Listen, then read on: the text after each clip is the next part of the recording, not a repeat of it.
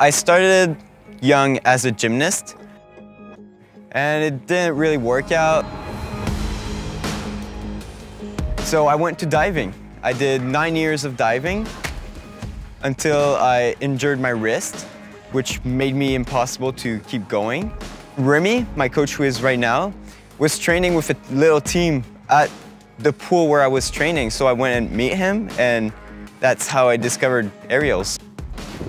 Allez, on finit, on finit. He asked about the program, and this is where he went through RBC. RBC is really important for us. We see tremendous benefit uh, just the side of recruiting. We're not a big sport as there's not a lot of people doing it, and just to have the opportunity to go there and recruit some good people, and uh, I think it's just awesome for us.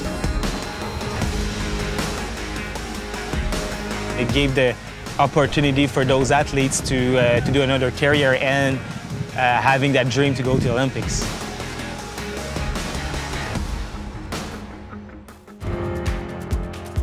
I received a bursary from RBC because of the placement I did in the finals. Uh, even though I wasn't, I didn't think I would get some, uh, I think they, they saw a potential in aerial skiing. It's just been relieving. J'ai juste gardé les bras un petit peu plus longtemps aux oreilles, mais en gardant ce dos-là, OK? And he came in the sports and right at the beginning and went super well because he had that acrobatic background. And what thing about Marc-Antoine too, he was really motivated and uh, pumped about the sports, so he liked it.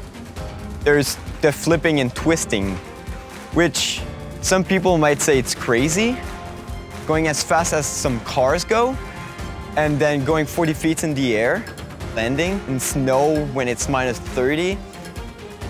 It's just the thrill of and the adrenaline. And I have big intention in this sport. I want to qualify in four years for the Olympics, just to go, feel it, so that in eight years, I'll be there and hoping to bring back a medal. So I want to do things that have never been done.